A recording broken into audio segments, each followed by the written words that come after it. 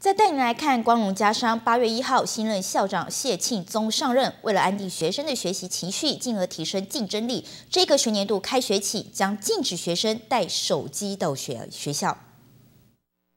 现代人几乎是手机不离身，就连学生也不例外。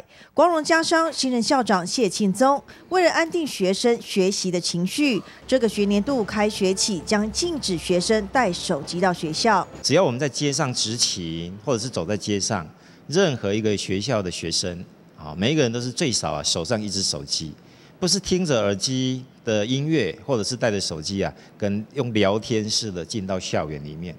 啊，我觉得这对学生的一个心态的安定性啊，有很大的影响。所以今年呢，我们在新生训练的时候，我们也邀请新生的家长一起到学校来。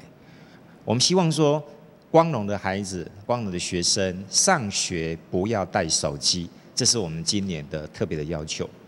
同学的反应如何呢？学生不带手机很好，因为有时候有的人上课。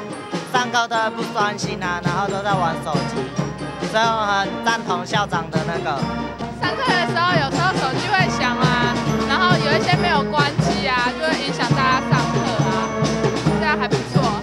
谢校长觉得玩手机、上网和谈恋爱这三项因素，深深影响同学学习心态。